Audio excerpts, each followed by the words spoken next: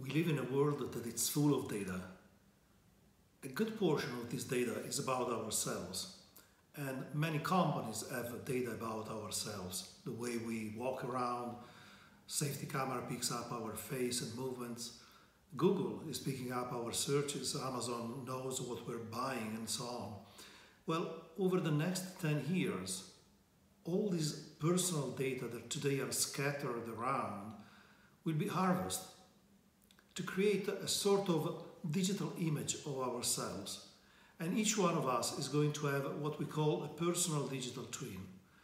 Now, a personal digital twin is a sort of model representing myself and at various levels, including the aspect of my health. And healthcare will be evolving to take into account this kind of data. But my personal data are also important when we're putting this data in common with many, many other people and their personal data. Of course, we want to have a sort of shell isolating, keeping the privacy of this data.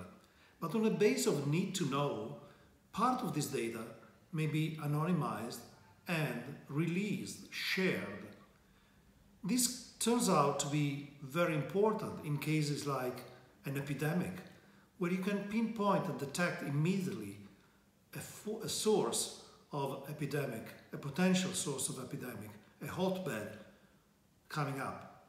And these, of course, can also be very, very useful if you want to check the expansion of the epidemics and contain it, because you can trace how the epidemic is expanding and then go back to each of these personal digital twins with information of caution or risk, potential risk, and induce a behavior that eventually will result in a very, very strong societal benefit. So my piece is all about the growth of these personal digital twins.